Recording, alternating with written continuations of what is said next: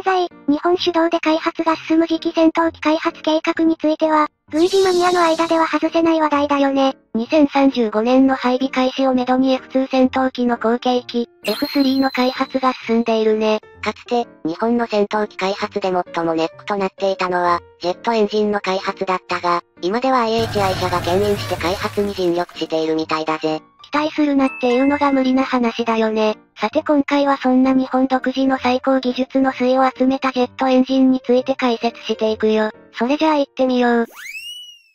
日本が初めて開発した戦闘機は、F1 支援戦闘機戦闘攻撃機だけど、これには、英国ロールスロイス社製のジェットエンジンが搭載されていたんだ。その後、F2 戦闘機の開発計画においても日本独自のジェットエンジン開発は、当時の技術では成し得ることができず、米国にジェットエンジンの提供を依頼することになったよ。しかし、当時の日米貿易摩擦の影響もあり、米国は日本へのジェットエンジンのみの提供を拒否して、結局は、日米で米国が圧倒的に有利な、屈辱的な内容の開発契約を結ぶことになったってわけ。このように戦闘機開発において、ジェットエンジンを独自開発できる技術があるのかどうかが、その国が戦闘機を独自開発する立ち位置にあるのかの決め手となるんだよね。そして、今までの日本は、残念ながら戦闘機を独自開発する立ち位置にはなかったんだ。そのような状況の中、F2 戦闘機の後継機 F3 の検討が2010年頃より始まり、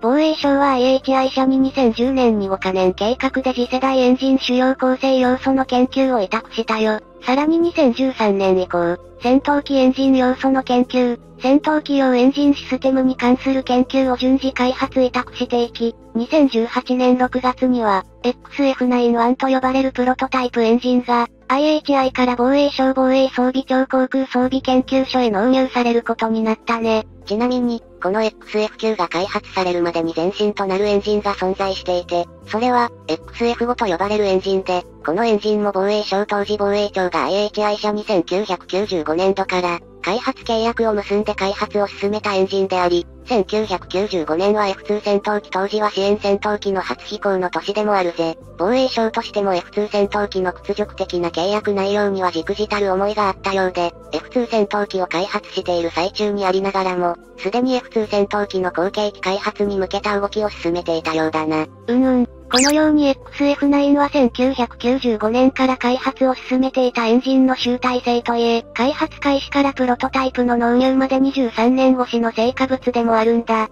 この XF9 は、F15 戦闘機に搭載されている、米国プラットホイットニー社製 F100 エンジンと同等のサイズであり、性能確認試験において、アフターバーナー作動時には15トン以上の推力を発揮し、アフターバーナー未使用時でも11トン以上の推力を確保しているよ。これにより、XF9 の開発要求は達成したことが確認され、そして、この XF9 の開発コンセプトは、ハイパワースリムエンジンと呼ばれるものだね。このコンセプトは、開発中の第6世代である次期戦闘機は、ステルス性能を高めるために大量のミサイルを機体内部のウェポンベイ爆弾倉に収納する必要があり、機体内部の容積がウェポンベイにより逼迫することになるんだけど、そのため、機体内部に占めるエンジンの容積を小さくするために大出力でありながらも小型のエンジンが必要となったってわけ。次期戦闘機の使用については、すでに公表されているデジタルモックアップ 3D データを活用して、実物大の試作品を制作せずともデザイン検証や評価を行える技術等を確認する限り、大型の総発戦闘機となっているね。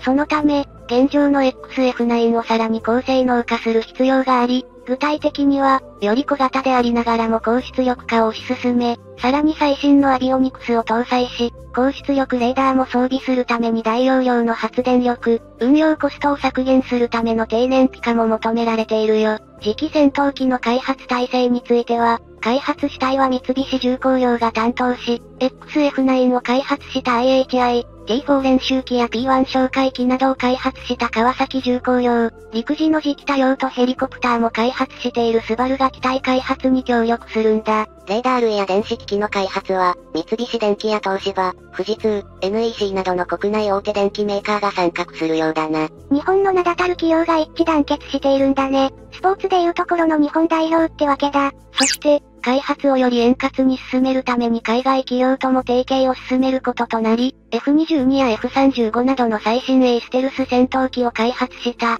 米国のロッキード・マーティン社が選定されているよ。ただし、このロッキード・マーティン社には日本はかなりの因縁を持っているんだよね。過去、田中元総理大臣が辞任する原因となったロッキード事件を起こした企業だし、ロッキード・マーティン社製 F16 戦闘機をベースとした F2 戦闘機の開発で、日本に不平等契約を結ばせ、日本が手出しできないブラックボックスだらけの F2 戦闘機を作り上げた因縁深い企業なんだ。この F2 戦闘機の開発には、日本は巨額の予算を計上したんだけど、契約で、日本が得た技術は米国に全て開示する義務が課せられた反面、米国の技術開示は極一部に止まったんだよね。巨額の血税を投入して得られた技術は、特に根幹に関わる技術で得られたものは皆無に等しいものだったみたい。そのため、今回の次期戦闘機開発でも技術提携するのがロッキード・マーティン社となったことには、不安の声も多く聞こえているんだけど、当然、そんなことは当事者であった防衛省も痛いほどわかっているはずだよ。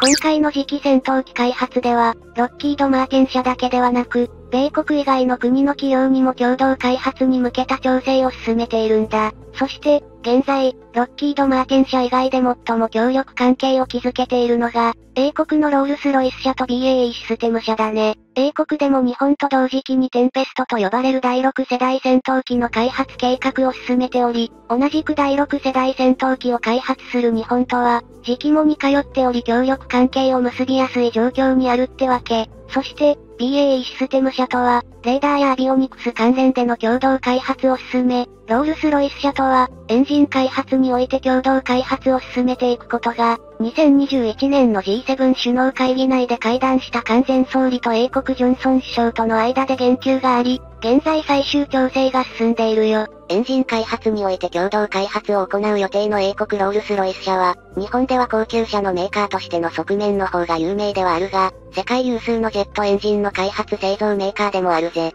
そして、日本政府はこのロールスロイス社との共同開発は、技術支援を主軸としたものではなく、日英で共同開発したエンジンを海外へ輸出することで、エンジンコストの削減を狙っているのではないかとの憶測も流れているな。エンジン開発において世界的には後進国である日本製のネームバリューでは、他国でのセールスは難しいものがあるため、ロールスロイス社の知名度を活かして、世界へ販路を広げようというんだろうね。そうすれば、エンジンの生産数が増加するために導入コストは低減するし、保守部品の確保も容易になり、整備コストも削減できるから。財政が厳しい日本において、高性能でも高価な戦闘機は数を揃えられないもんね。だからこそ、少しでもコストダウンを図りながら、高性能でありながらも、コストパフォーマンスの優れた戦闘機を開発しなければならないってわけ。このように日本において次期戦闘機のエンジン開発は、比較的順調に進んでいるけど、それに対して中国の軍事メディアが記事にしていたみたい。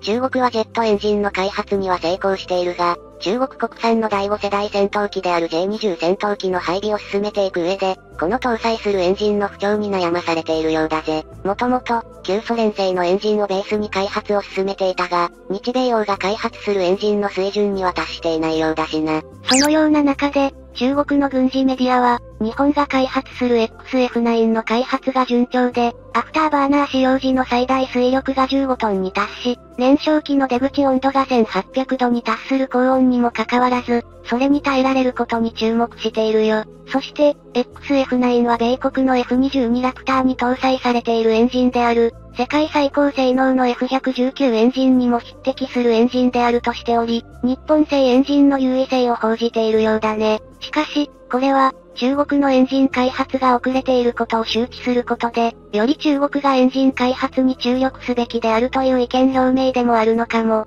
ただし、中国では2018年頃には第5世代戦闘機に搭載可能な性能のエンジン開発は完了のめどが立ったようだし、中国製エンジンを搭載した J20 を2021年までには150機、2025年までには200機を配備すると言われているよ。このような中国の第5世代戦闘機の配備状況に対して、航空自衛隊の第5世代戦闘機は、F35A を105機1機墜落により損失、関西機型の F35B を42機購入する計画となっており、合計で墜落した1機を除けば146機、第5世代戦闘機のようで、日本は中国に対して劣勢となるんだ。そこで、日本は質で対抗するために第6世代戦闘機の開発、及び配備を早急に進めなければならない状況ってわけ。なお、現在世界で進む第6世代戦闘機の開発計画は、英国のテンペスト、フランス、ドイツ、スペインの3カ国が共同開発する FCAS フューチャーコンバットエアーシステム将来戦闘航空システム、日本の次期戦闘機であり、それぞれ実現の可能性は高いものとされているぜ。そのような状況の中、中国は有人機による第6世代戦闘機開発は早々に諦め、無人機開発に注力していくとされているな。中国では、第5世代戦闘機である J20 に搭載するエンジンの開発には成功したものの、第6世代戦闘機に搭載可能なエンジンの開発には至っていないみたい。そのような中、中国ではドローンや AI 技術の進展が著しく、それによって有人機開発から無人機開発に舵を切ったのかもしれないね。今後、有人機開発、無人機開発と次世代戦闘機開発には多くのアプローチを各国が成していくと思われるけど、そのどれが第6世代戦闘機の主流となるのか、注目していく必要があるだろうね。そして、日本が開発する次期戦闘機が、次世代の主流となりうるのか、日本の将来がかかる重要なプロジェクトと言えるよ。それじゃあ今回はこの辺で、よかったら、チャンネル登録してね。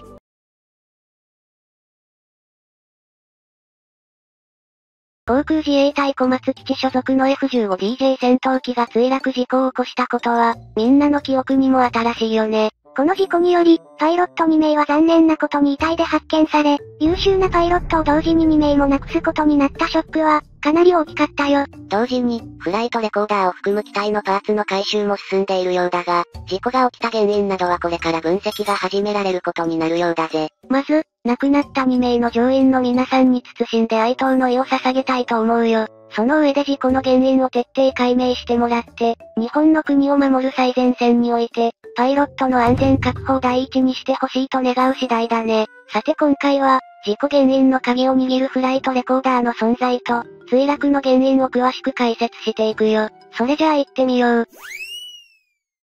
小松基地は、石川県小松市にある航空自衛隊の基地で、官民共用の空港として運用されているこの空港では、対ロシア、中国、北朝鮮など、荒くれ者国家の領空侵犯などに速やかに対応するべく、航空自衛隊の中でも最優秀のパイロットが配属されると言われているよ。えりすぐりのエリートってわけだね。そして、今回消息を絶った F15 は飛行共同軍に所属していた機体だったんだ。この部隊は、侵略者を意味するアグレッサーの通称が与えられており、一年を通じて全国の戦闘機部隊や警戒管制部隊を巡回し敵役として訓練、共同を行うことを主任務としている部隊だね。飛行共同軍の機体には、上空で一目見て敵役と判別できるよう、青や緑のカラフルな迷彩や、幾何学模様の識別塗装が施されていることから、見た目もすぐ見分けることができることで有名だよ。何より、アグレッサーのパイロットとしては、全国の基地から選抜された高度な操縦技術を持つ戦闘機パイロットが集結しており、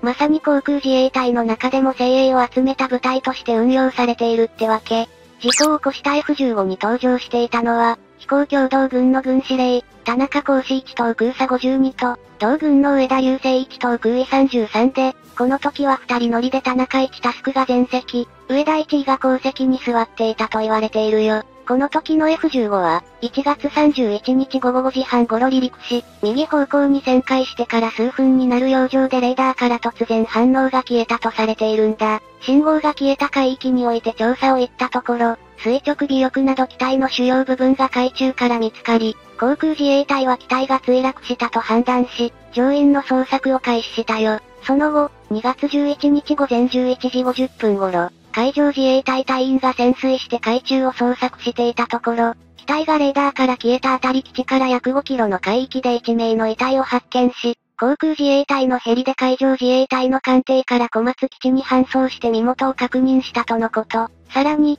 2月13日午前9時10分頃、同じ現場海域で海事の隊員が新たに遺体を見つけ、こうしてようやく捜索作業を終えることになったんだけど、この時航空自衛隊は事故調査への影響を理由に、それぞれの日にどちらの隊員が見つかったかは明らかにしていないんだ。優秀な隊員の死を悼む時間もなく、航空自衛隊は引き続き海域において戦闘機の機体等の捜索に当たったってだな。これまでの捜索で、水平尾翼やエンジン排気口、燃料配管などの一部がそれぞれ見つかったんだけど、これらは航空自衛隊が委託した民間のサルベージ船の準備が整い次第、機体を引き上げ、原因究明を進めることになるんだ。以前紹介した、南シナ海でのアメリカ空母艦載機の喪失事故と比べて、比較的引き上げが容易な海域であったことが功を奏しているようだけど、やはり優秀な隊員を2名も同時に失ったことは、航空自衛隊にとって大きな痛手であることは間違いないよね。そして、アグレッサー部隊による訓練等はこの事故以来中止されており、連度の維持にも影響を及ぼすことが予測されているんだ。事故の原因が人為的なものなのか、機体に起因するものかがわからない以上、安全を確保できない状態で訓練を行うことができないという、航空自衛隊の人命第一主義がこのような方針をとっている原因と言えるね。もちろん、そのことに関して異論はないし、空の先森として懸命に日本を防衛してくださっている隊員の皆さんの命を大事にしていただくことこそ、今は重要なことだと思うんだ。事故の原因の解明も徐々に進められており、2月25日に航空自衛隊はフライトレコーダー飛行記録装置の本体を現場付近の海底で発見して回収したことや、それと同時に F15 に搭載されていた2機のエンジンも発見され引き上げられたことを発表しているよ。今後、回収されたフライトレコーダーの記録の解析を進めるとともに、海底に残る機体の回収作業を継続するとしているけど、事故において重要な部分の部品などが見つかったことで、事故原因の確定が大きく進むものと期待されているみたい。ちなみにこのフライトレコーダー、本体に付属していた発信機は墜落翌日に回収されたものの、その本体が見つかっていなかったみたいだが、結果的に発見された時には、本来は一体型のはずのフライトレコーダー本体と発信機が分離していたことで、発見に時間を要したとされているぜ。このことについて、航空自衛隊の井筒俊二航空幕僚長が、相当の衝撃が加えられたことで分離されたと推察されると説明しているな。また、エンジンはこれまでに排気口の部品などが回収されていたものの、海中より引き上げられた2機のエンジンはいずれも原型をとどめていたことが分かったよ。大きく破損することもなく、エンジンとしての外観を確保していたことから、機器の不具合による原因ではない可能性が浮かび上がってきているみたい。さらに、現場付近では機体の胴体部分も発見されていて、こちらも墜落原因の解明のために近く回収され、事故原因の解明が進められるよ。航空自衛隊では、今回の事故を受けて、小松基地における F15JDJ の飛行訓練を中止しているけど、日本の領空を侵犯する恐れのある航空機に対するスクランブルは防衛上必要として事故後も継続しているよ。現在の世界情勢を考えれば当然のことだよね。うんうん、というのも、小松基地のスクランブル対応は日本国内でもズバ抜けて回数が多く、特に多いのはロシア軍機に対するスクランブルが近年激増しているんだ。小松基地だけで言えば、ロシア軍機の領海侵犯は、中国軍機へのスクランブルに次いで回数が多く、今回の事故直後の2月2日、4日にも続けてスクランブルが発生していることがわかっているよ。この頃といえば、ロシア軍がウクライナ侵攻の準備を行っていた時期であり、日本方面への領空侵犯は、ウクライナ方面の部隊のみならず、全ロシア軍が臨戦態勢にあることからの行動であったことは明白なんだ。防衛省の統計では、2021年4月から2022年1月までの期間における、航空自衛隊戦闘機によるスクランブルは834回に上り、これは2020年度のペースを上回っているよ。ちなみにこの内訳は、中国軍機は606回、ロシア軍機が212回となっているが、2021年11月には中国軍とロシア軍の爆撃機が編隊を組んで飛来したケースもあるなど、その度合いはかなり挑発的であることは間違いないな。この状況下であることを踏まえれば、航空自衛隊としては、東アジアでロシアや中国の動きに対して牽制し続ける必要があり、スクランブルをもやめてしまうことは国防上許されないってわけ。2021年12月、亡くなった田中一沢読売新聞の取材に対して、戦闘機1機の持つ戦力は、航空優勢のみならず、戦闘全体に多大な影響を与える。戦える部隊を作りたいと語っていたよ。ただ、空自の各部隊はスクランブルなどのみ任務に追われていることも認識しているとし、戦技戦術を底上げする余力がなく、一方で周辺国は航空機、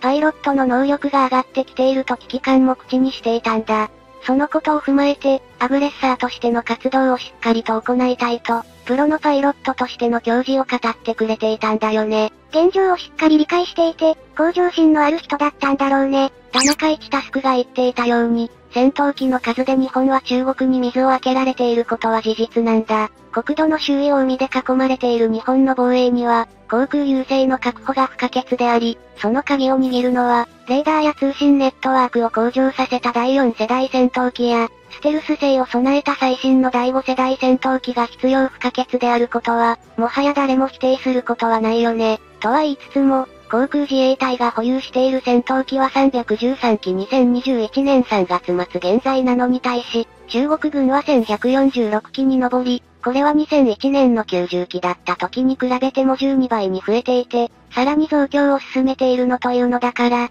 かなりの難敵であることは間違いないよ。かといって、いきなり中国が日本本土を爆撃することはない。むしろ、基地があるから戦争が起こると左翼系活動家などは日本の軍事行動を批判するけど、憲法9条が日本を守ってくれるのかな？ならば、ウクライナに憲法9条があれば、ロシアは決して侵攻をしなかったのかな？その答えは、良識的な思考と一般常識を持ち合わせている皆さんであれば、わかるはずだよな。今回の事故の原因について漏れ聞こえるところによると、バードストライクや整備不良からのエンジントラブルとも言われているようだけど、原因を追求すると、そのために誰かが責任を負うことにはなるけど、日本の領土を守るため懸命に頑張ってくださっている隊員の皆さんの命は、しっかりと守っていただきたいと、心から思うね。それじゃあ今回はこの辺で、よかったら、チャンネル登録してね。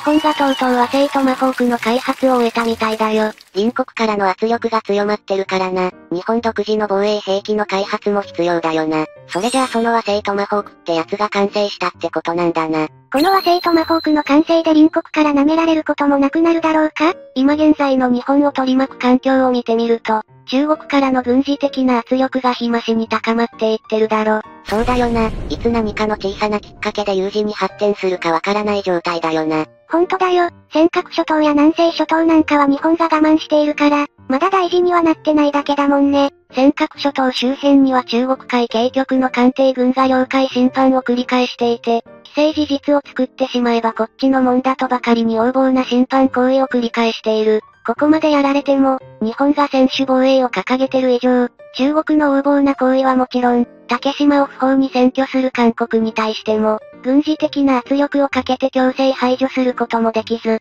北朝鮮からは頻繁に日本海にミサイルを撃ち込まれてる。なんとかこの状況を打破するべく、日本が考えている圧力がこの和製トマホークの開発と言われてるんだ。この兵器の開発で隣国との関係性が少しでも改善されればいいんだがな。それじゃあ今回は、この和製トマホークの完成により隣国との関係性は変わるのか？それとこの兵器の性能を見ていこうか。それじゃあ行ってみよう。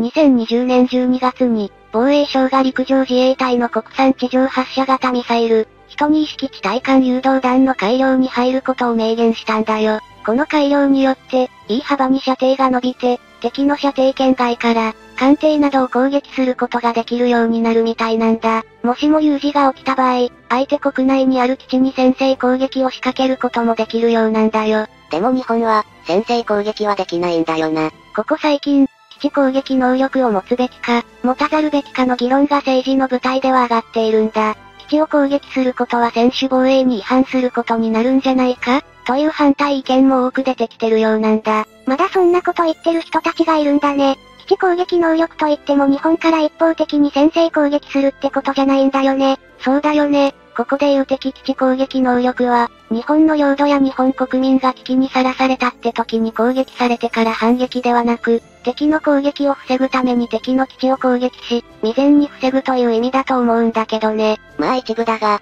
隣国寄りの人たちもいるからな。反対してる人たちはその辺の人たちなんだろ。それじゃあここからは、人に意識地対艦誘導弾について見ていこうか。人に意識地対艦誘導弾は、地上の移動式発射台から発射することを前提に設計されていて、海上に航行している敵の艦艇などに攻撃をするために、2012年に陸上自衛隊により採用されたんだ。現行の射程距離は最長で200キロとなっていて、日本国内では陸上自衛隊駐屯地などに配備されてるんだ。この最大射程200キロをさらに伸ばしていこうということなんだな。うん、2020年に人に意識地対艦誘導弾の射程距離をさらに伸ばすことになり、日本政府は2021年度の予算案に開発費として335億円を計上したそうなんだ。335億円、すごいね。どうだろう？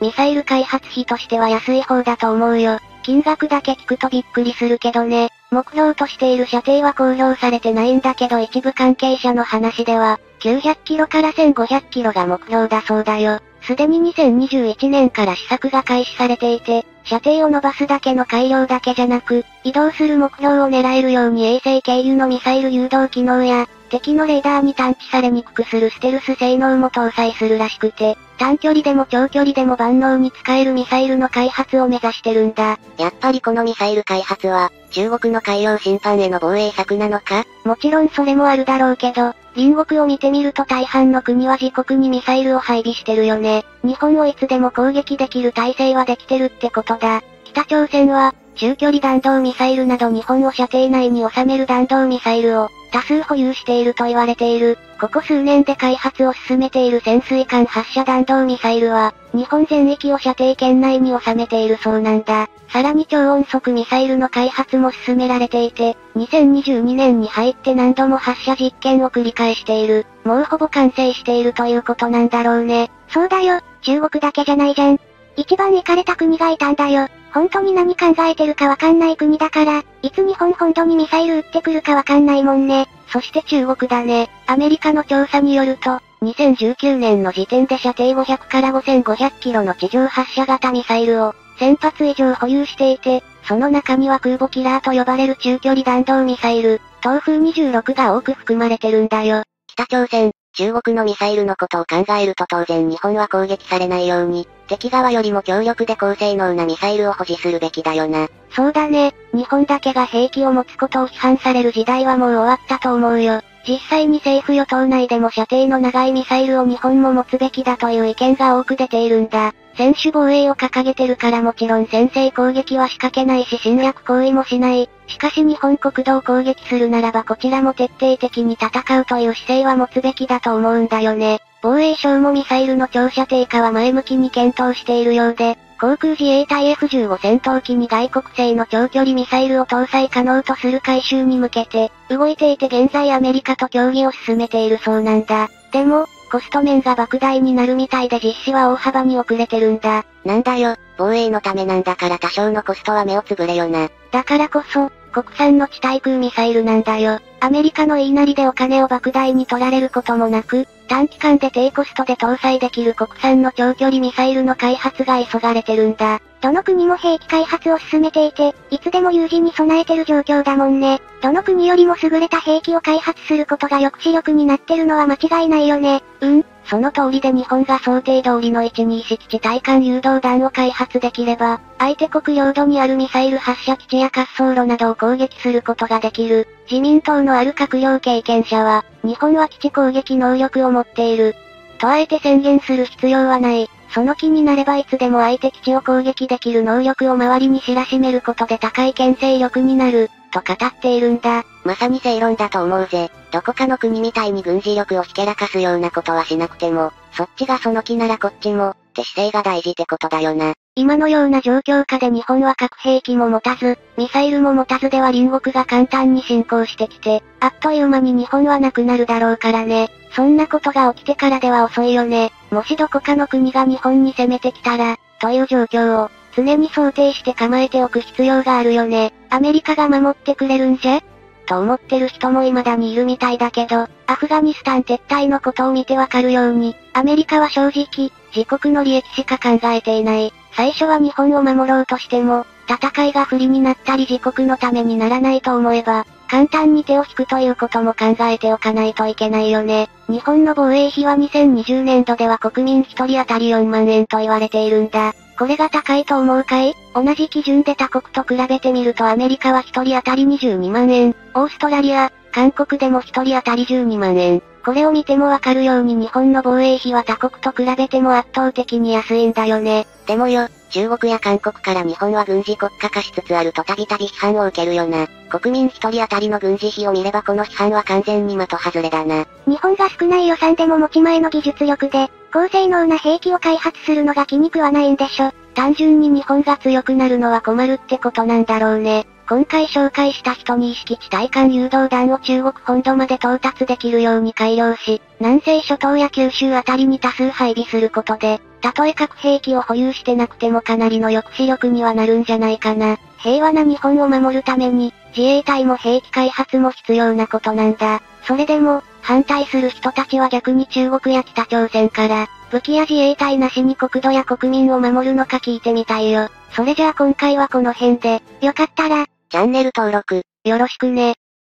それじゃあ雑学の時間だね。今日も勉強させてもらうよ。女性の勘が鋭くて当たりやすいって思ったことない？あ、あるぜ。なぜ女性の勘が鋭くて当たりやすいかって説明するね。女性は一般的に男性と比べて勘が鋭いってよく言われるよね。男性は女性に浮気をされていても気づかないことが多いけど、女性は勘で男性の浮気や不倫を見抜くこともあるんだよ。なぜ女性の勘が男性と比べて優れているのか考えたことはある？それは男性と女性の嘘をついた時の行動の違いによるものだそうなんだ。男性は嘘をつく時に相手から目をそらす傾向があるようなんだ。男性の場合は、嘘をついていることがバレてしまうのではというプレッシャーや罪悪感に耐えきれず、つい目線をそらしてしまうんじゃないかな。しかし女性の場合はその真逆で、相手の目をしっかりと見て話すそうなんだ。心理面では女性も男性と同じ状態になっているんだけど、嘘をついているという不安のあまり、相手から目が離せなくなっているからなんだ。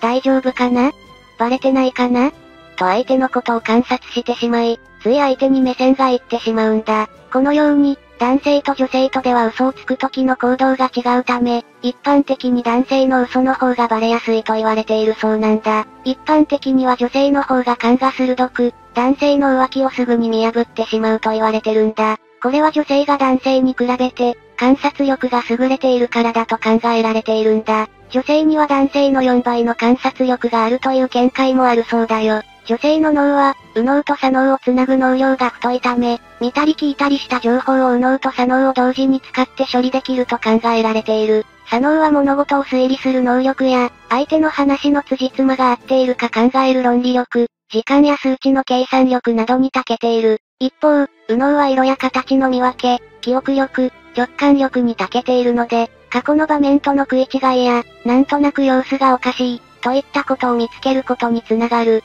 女性はこれらの両方の面を同時に働かせることができるため、観察力が優れているのかもしれないね。以上、今日の雑学でした。最後まで見てくれてありがとう。ありがとう。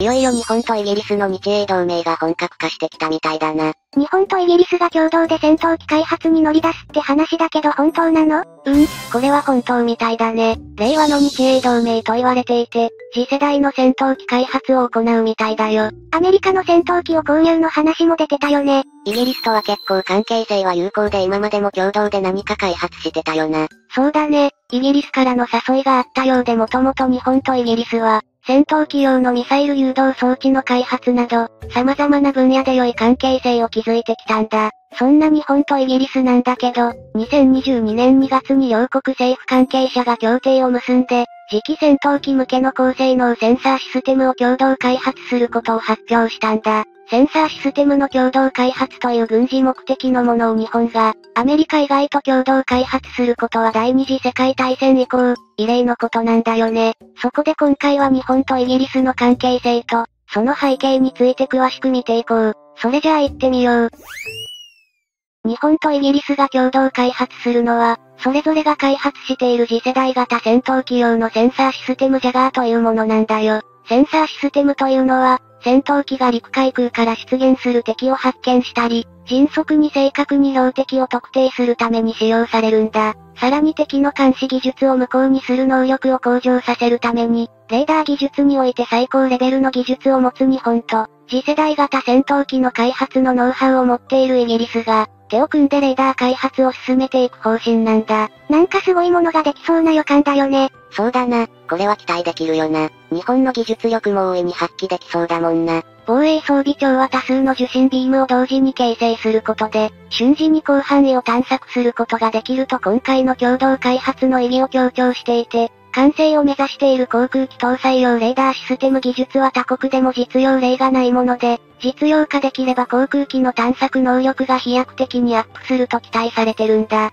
これが実用化できれば戦闘機開発で他国を一歩も二歩もリードできそうだな。このレーダーシステムが実用化されるのに何年くらいかかるんだろうねそうだね。その件に関してはイギリスの国防省が今回のプロジェクトについて発表してるから見てみよう。イギリス国防省の発表によると、ジャガーシステムを設計、構築、評価までするのに、最低5年はかかるんじゃないかと発表しているよ。民間企業としてイタリア防衛産業大手のレオナルド社の、イギリス法人と日本企業が参加することを明らかにしているんだ。5年か、早いのか遅いのかよくわからんな。日本とイギリスでそれぞれ実証機が製造されて、両国の専門技術を高めるために、得られた成果や技術を共有しながら作業を進めていく方針なんだ。それを考えると、5年という歳月は妥当と考えられると思うよ。もう一月になる開発費のことなんだけど、これに関しては日本もイギリスもジャガー計画に、どれほどの予算を当てるかは明言していないんだ。日本に関してはこのプロジェクトに参加する企業名さえも明らかにしていない。このことが何を意味するのかはわからないんだけど、日本とイギリスではこのプロジェクトに対する捉え方が違うようだね。イギリスは国内の軍需産業にとって有益なことと明言しているのに対して、日本は高度な性能を有する次世代戦闘機を保有することができることをアピールしているんだ。そやな、日本はいわば普通の企業なわけじゃん。軍事専門の企業は存在しないだろ。他国は、軍事兵器専門の企業が存在するからな。そのことを考えても、プロジェクトに対する考え方は違うだろうな。プロジェクトに対する考え方はともかく、素晴らしいものを共同で開発してくれるなら問題ないよ。そうだね。それじゃあ今度は次世代戦闘機を取り巻く日本とイギリスの実情を見ていこう。日本は航空自衛隊が運用している F2 戦闘機の後継機の開発を国産主導で行っていたよね。今回のジャガー計画で、開発に成功した次世代センサーシステムを、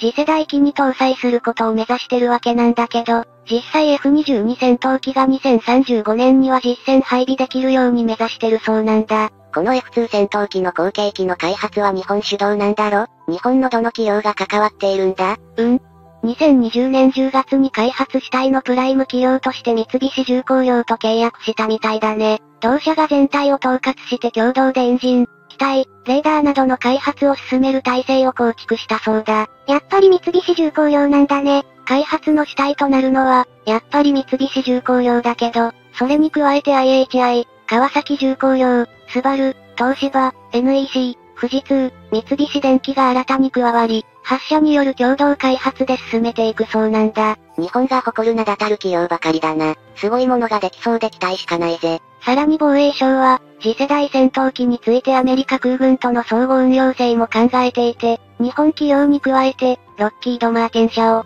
総合支援企業として選定したみたいだよ。アメリカが持つ最先端の戦闘機技術のノウハウを吸収しつつ、官民一体となって戦闘機を開発していこうというのが日本の方針のようだよ。イギリスでは現行の主力戦闘機ユーロファイタータイフーンの後続機として、テンペストの開発を進めていて、こちらも2035年頃の実戦配備を目指してるようなんだ。日本の後続機の実戦配備と同じスケジューリングであることから、今回の共同開発の話が持ち上がってきたのではないかと言われてるんだよ。アメリカのロッキード・マーテン社がついてくれれば怖いものなしだね。今回の次世代戦闘機の開発はジャガー計画だけじゃなくて、日本とイギリスで次世代戦闘機のエンジンも共同で開発するそうなんだ。2021年12月には、日本政府とイギリス政府が次期戦闘機エンジン実証機について、日本の IHI とロールスロイス社が共同で開発すると発表してるんだ。さらに防衛省は、2021年に41億円の予算を投じて、次期戦闘機用の高機能レーダー技術の開発を日本とイギリスで共同開発することも発表してるんだ。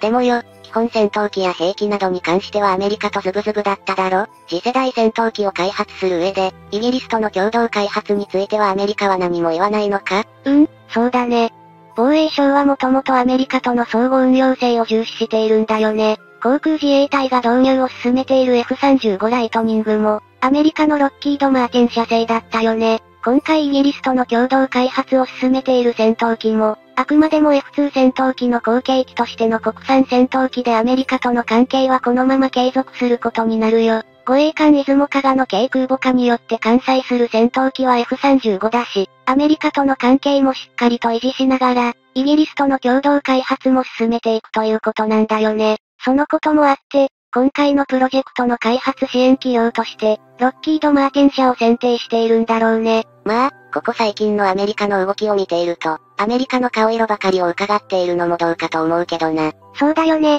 今回のウクライナの件でも、実際にアメリカは何も手出しできない状況だもんね。うん、確かにもし日本に中国やロシアが軍事侵攻してきた場合、アメリカが助けてくれる保証はどこにもない。そう考えると今回のアメリカ以外の国との共同開発というのは大きな意義を持つと思うんだよね。日本が独自の力で防衛力を高めていくしかないと思うんだよね。アメリカの顔色を伺ったり事情を気にすることなく、戦闘機を国内企業が開発するのが望ましくて、同時に最先端の技術やノウハウを持つ諸外国と共同開発していくことが望ましいと思う。その点で、日本はエンジンやミサイルの技術が欲しくて、イギリスはレーダーやセンサーの技術が欲しいということで、お互いに技術や費用面で乏しいところを補いつつ、高性能な次世代戦闘機を効率よく開発できるということなんだ。そうだね、いつまでもアメリカには頼ってられないよね。自国は自国で守れなきゃね。実際、今の日本はアメリカの後ろ盾がないと何もできないと思われてるからな。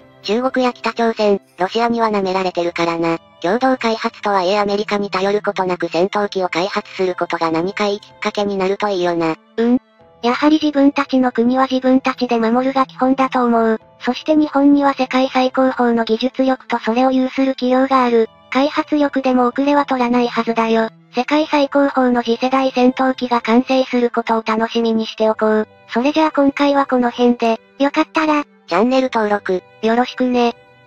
今日の雑学いってみよう。待ってました。今日は何を教えてくれるんだ？今日はウインナーとソーセージの違いについて話そうか。ウインナーとソーセージは何が違うと思う？みんなその違いがわからずに食べているんじゃない？じゃあ早速その違いについて触れていくよ。まずウインナーについて調べてみると、実はウインナーソーセージの略であり、ソーセージの一種であることが分かったよ。一口にソーセージと言っても、魚肉ソーセージなどもあるし、色々な種類があるよね。そう考えるとウインナーがソーセージの一種であることは納得できる。それじゃあ、ソーセージとは何なの？ソーセージは、肉をひき肉にして味付けなどをした上で腸などに詰めたものの総称なんだ。ひき肉を腸に詰めたものを見た時には、とりあえずソーセージと言って間違いないということだね。色々なソーセージがあると言ったけど、具体的にはどのように呼び方を分けているんだろうね。以前は、何の動物の腸に詰めるかによって呼び方が異なってたみたいなんだ。しかし、昨今では人工の皮ケーシングに詰められていることが多いため、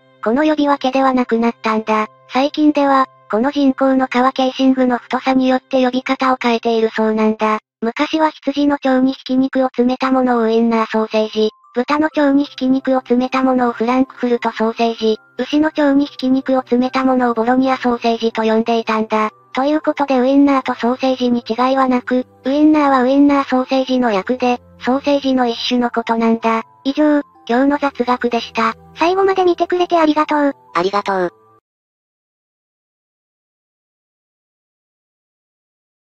メリカ海軍の新型水上戦闘艦建造計画 DDGX 計画は、その内容がかなりのベールに包まれているよね。まあ軍事機密だから仕方ないけど。そうだね。でも、2022年に早々にアメリカ合衆国議会への報告があり、およそ1万2700トン級の満載排水量を誇るイージス艦であることが判明したみたいだよ。今回建造される新柄イージス艦、そのスペックはもう申し分ないものになるだろうし、あとは建造スピードの問題じゃないかな。アメリカの建造能力はやはり桁違いだから、中国のようにとりあえず作ればいいのように質を度外視するような建造は行わないだろうぜ。質も量も揃えた最新鋭艦艇が出揃うわけだね。これからのアメリカは中国に対してかなり強硬な姿勢に出るのかも。そうだね。今回は、そんなアメリカの動向も踏まえて、DDGX 計画について詳しく解説していくよ。それじゃあ行ってみよう。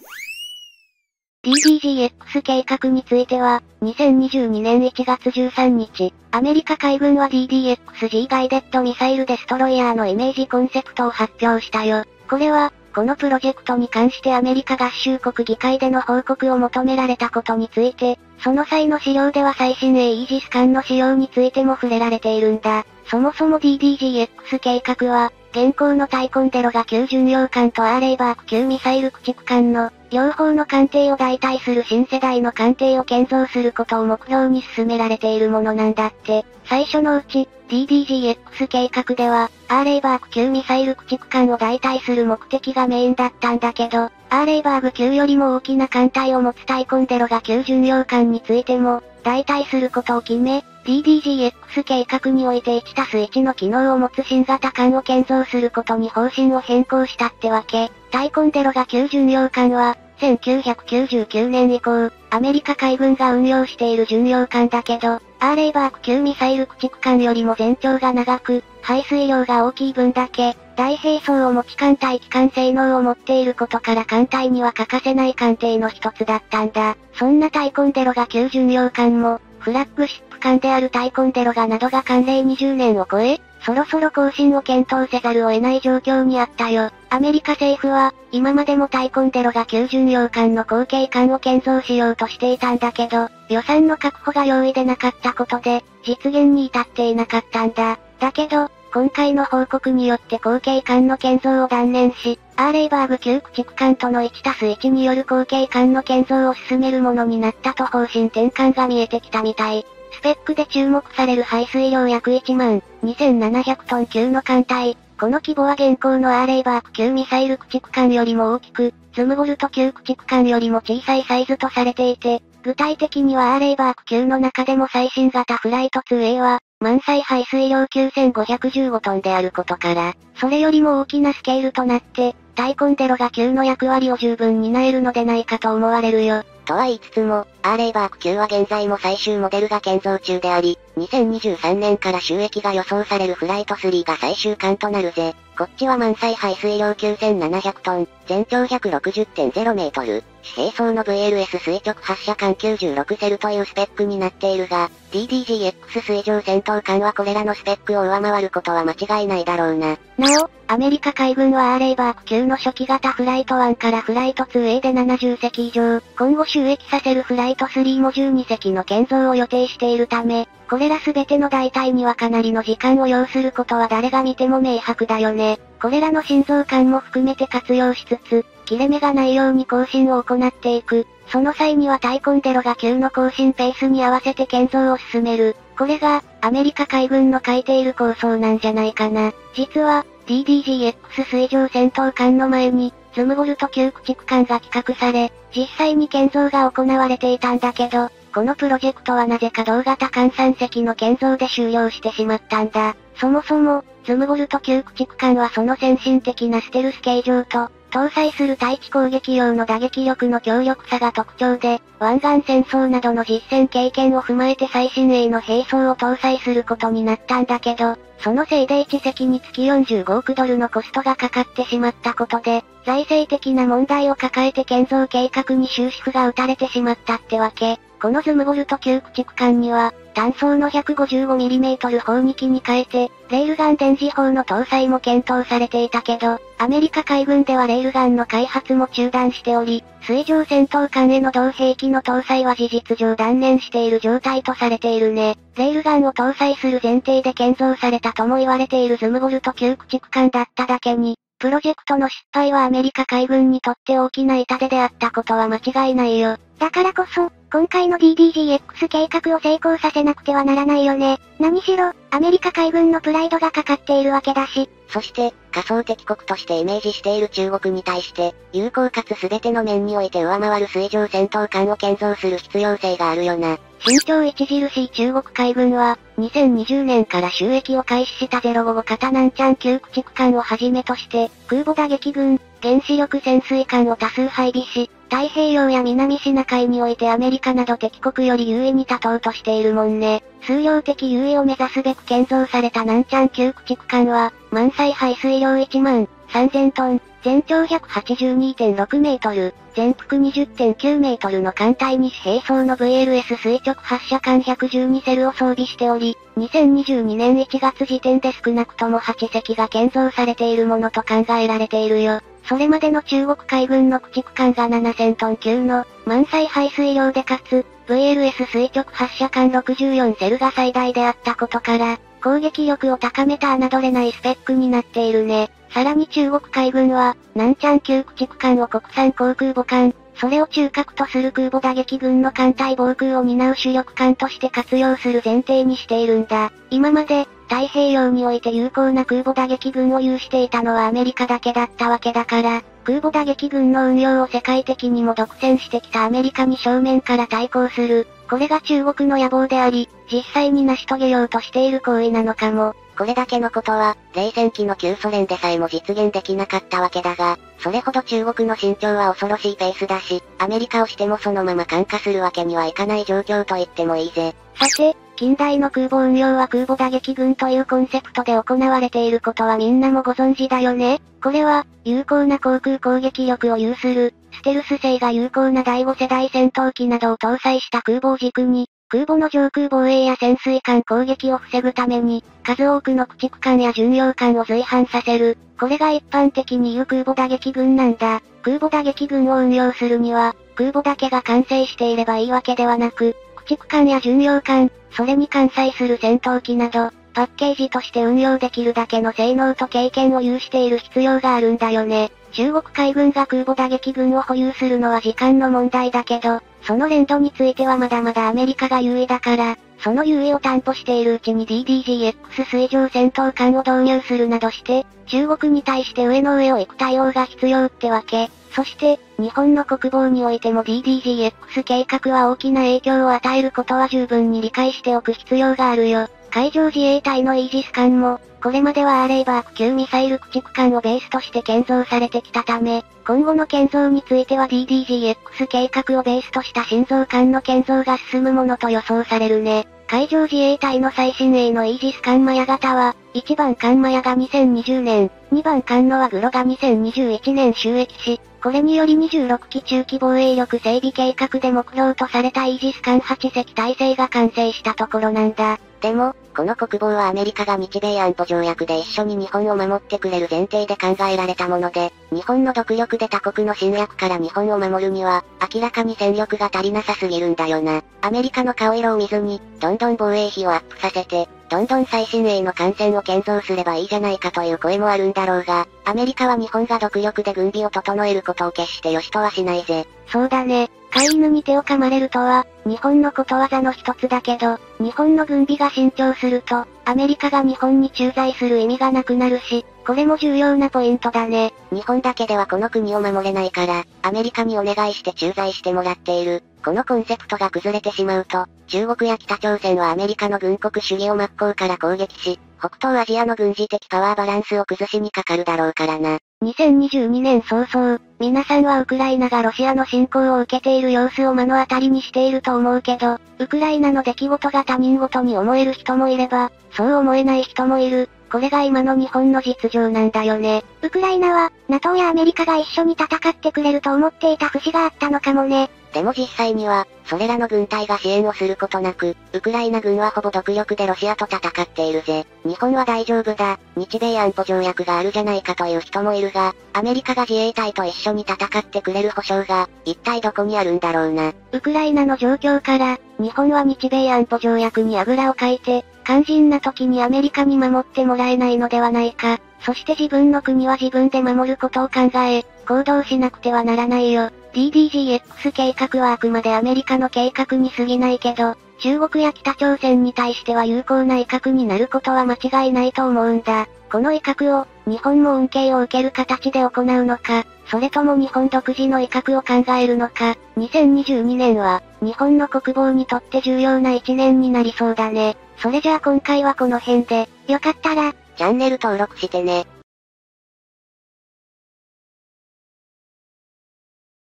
日本が立地する極東アジアは、世界有数の軍事力を有する国々が対立関係にある世界的にも毛地域だよね。日本にとっての主な対立国は中国と韓国になるのかな？北朝鮮も外せないよな。何にせよ、総じて過激なスタイルは否めないぜ。だからこそ、日本も比例して軍備を整える必要が出てきちゃうもんね。本当にそうだよね。さて今回は上述した部分を踏まえて、日本の最新鋭護衛艦最上型多機能護衛艦について解説していくよ。それじゃあ行ってみよう。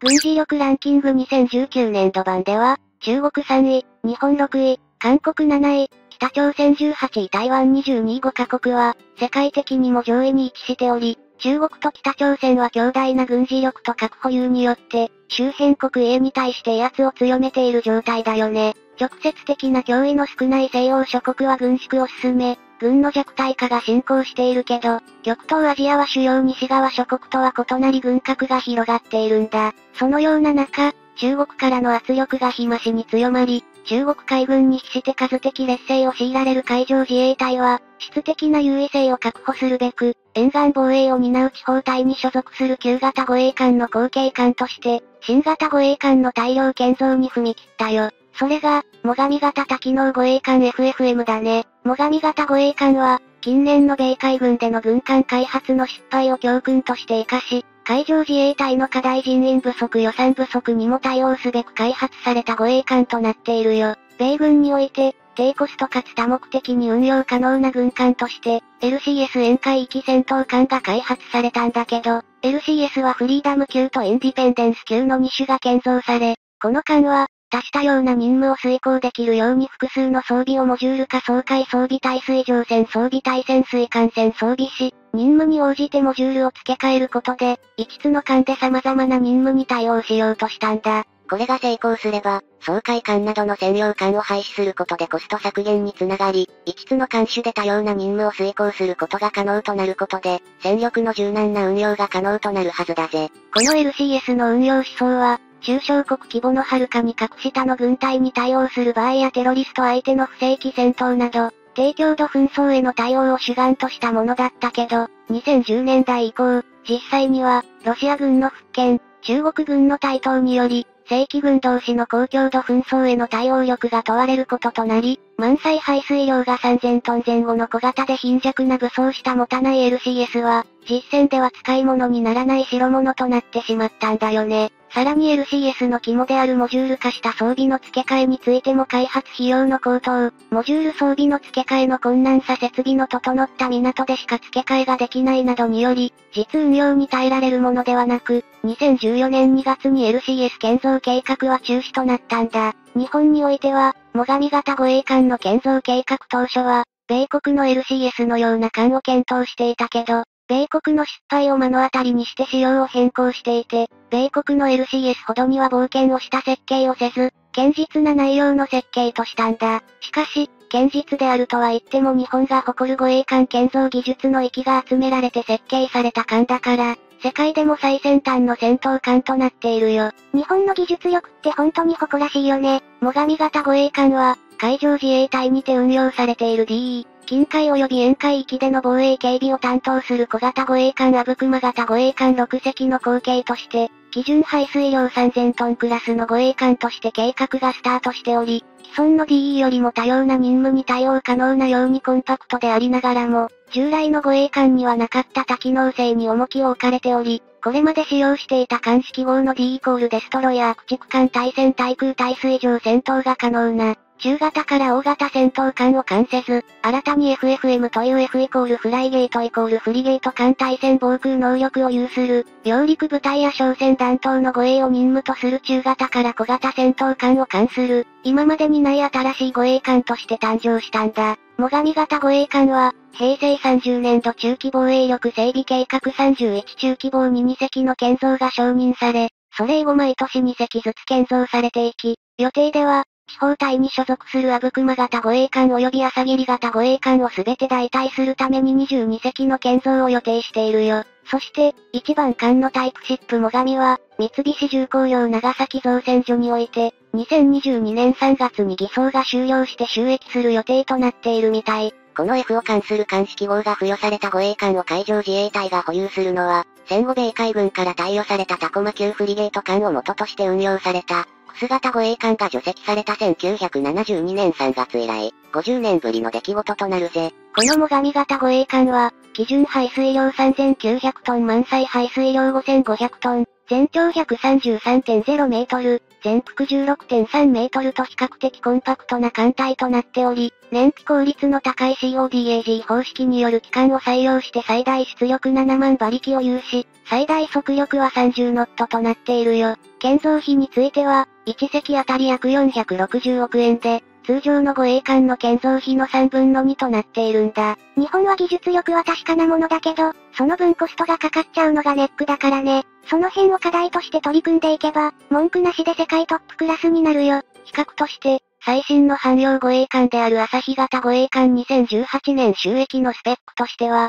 基準排水量5100トン満載排水量6800トン、全長151メートル、全幅18.3メートル、となっており、一回り以上小型の艦隊となっているね。建造費用も701億円であり、最上型は朝日型の約66%の費用で建造されたことになるんだ。なお、1988年に収益した朝霧型汎用護衛艦の満載排水量は4900トンであり、現在建造が進む FFM 最上型護衛艦よりも汎用護衛艦でありながら小型な艦隊となっていたんだ。これは、現用の汎用護衛艦は高性能な機器や武装を多数装備することを可能とするために大型化してしまったことが要因であり、汎用護衛艦の大型化によるコスト高が新たに FFM という艦種を生み出した要因の一つでもあるよ。最上型護衛艦の外観上の特徴としては、ステルスマストが採用されていることであり、これはメインマストとマストに設置する機器をカバーで覆うことでステルス性を高めたもので、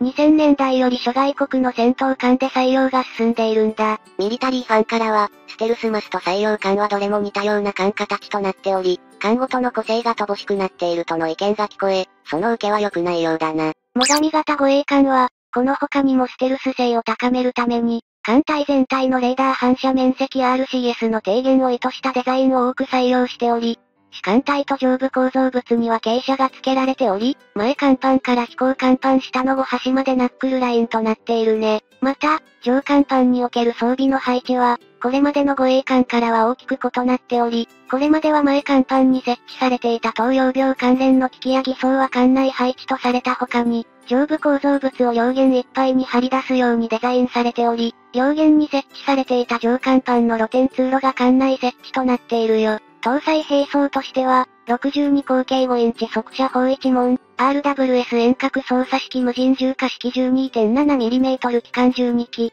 シーラム近接防御火器1機、17式 SSM 艦対艦誘導弾4連装発射塔2機、324mm3 連装単魚雷発射管2機となっており、後日装備予定として、マーク、41VLS16 セルを1基搭載が予定されているみたい。VLS が後日装備扱いとなったのは、建造時には搭載予定の国産の新型アスロックが完成していなかったため、新型アスロックが完成次第、VLS を装備することとしたんだ。また、あさひ型護衛艦より採用された、複数の艦で共同して潜水艦を探知する機能である bistatic operation が可能となっており、従来探知が困難であったステルス性を有する潜水艦についても、その探知能力を飛躍的に向上させているぜ。艦載機としては、SH60 系哨戒ヘリが1機搭載可能となっており、対水上対潜水艦戦闘に主眼を置きつつ、対空戦闘能力は艦載砲及び近接防御火器に依存した限定的なものになっているよ。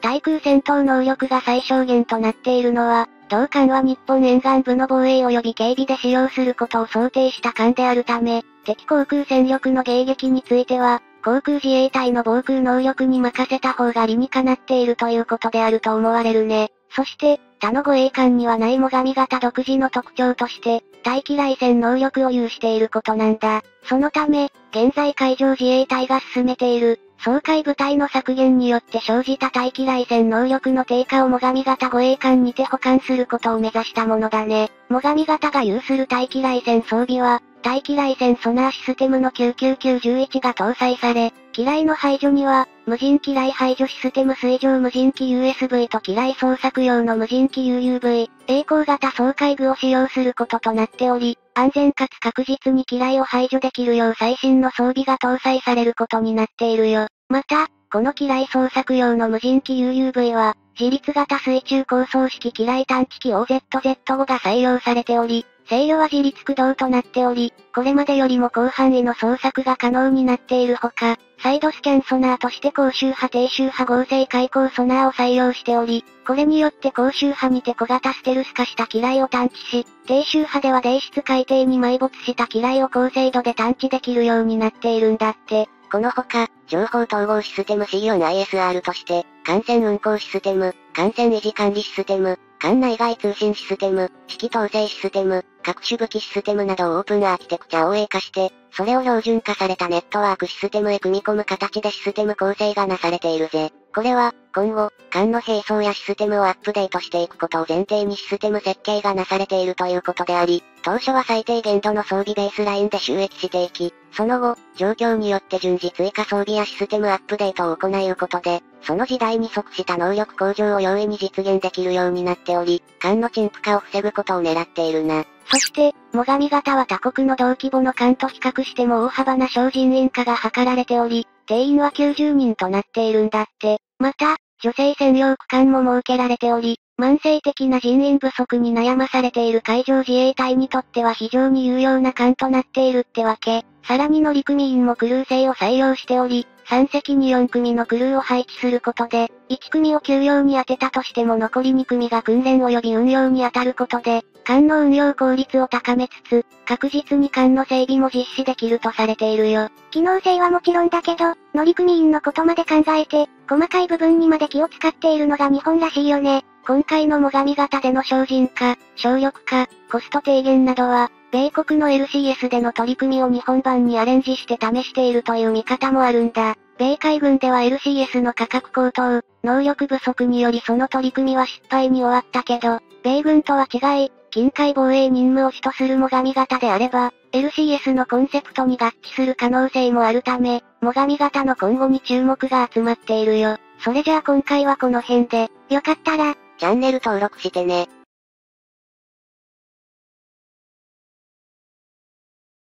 クライナに対するロシアの軍事的圧力が次第に高まる中、アメリカがどのようにウクライナ問題に対応するのか気になるところだよね。はっきり言って、ウクライナ情勢は決して日本にとっても他人事ではないよね。ロシアは、自国の安全保障を口実にしてウクライナに侵攻し、NATO 加盟国ではないウクライナに対してアメリカや欧米各国は早急な対応ができなかったことは、みんなも知っているよな。うんうん、まさにロシアの先手を許してしまった事実を、リアルタイムで僕たちも見ているからね。もし、ウクライナを台湾に、ロシアを中国に置き換えてみると、みんなはどのような印象を受ける？アメリカがウクライナに釘付けにされているタイミングで、中国が台湾に対して何らかの行為に及んでも決して驚くべきことではないんだぜ。確かにその通りだね。そのことを踏まえて、今回は台湾の情勢と中国や日本の動きについて詳しく解説していくよ。それじゃあ行ってみよう。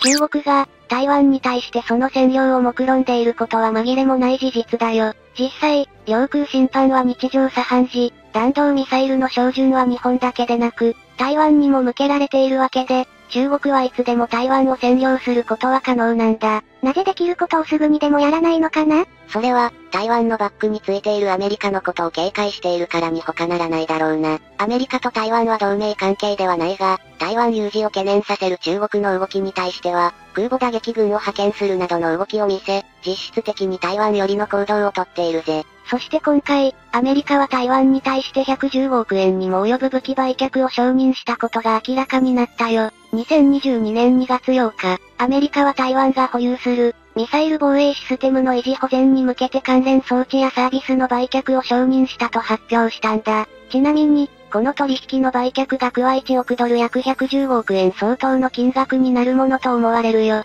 2020年以降、中国による台湾への軍事的圧力が強まっており、強固な防空体制づくりが急務であった台湾に対して、アメリカが支援を公言した形になるね。アメリカ国防総省参加の国防安全保障協力局によると、台湾はすでに運用しているミサイル防衛システムパトリオットの維持や改良を目的とした、5年間にわたるプログラムへの参加に向けて、関連装置やサービスの購入を申請していたんだけど、この申請に対してアメリカが承認を与えたことになるよ。このプログラムへの参加は、パトリオットを保有する限り、アメリカ政府が義務付けているものだけど、必要な危機等の売却にはアメリカ議会の承認が必要となる仕組みとなっており、今回はアメリカ議会も台湾との取引を承認した形になるってわけ。アメリカ国防安全保障協力局の公式声明では、台湾への取引承認をめぐって、軍の近代化や盤石な防衛能力の維持を目的とした取り組みを支援することで、アメリカの国益や経済安保の利益に資すると強調したよ。また政治的安定や軍事バランスの維持などを促進するとも述べたことで、アメリカが現状の維持を望んでいることを明確にするとともに、中国の軍事的圧力に対して懸念を表明したものとなったんだ。